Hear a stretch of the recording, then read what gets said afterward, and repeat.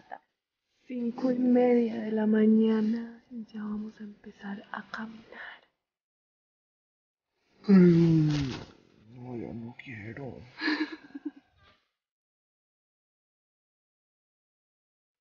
Bueno, estamos ya viendo, ahí atrás ya está un poco el amanecer y nos despertamos a las cinco y media y mucha, mucha, mucha gente viniendo, muchísima.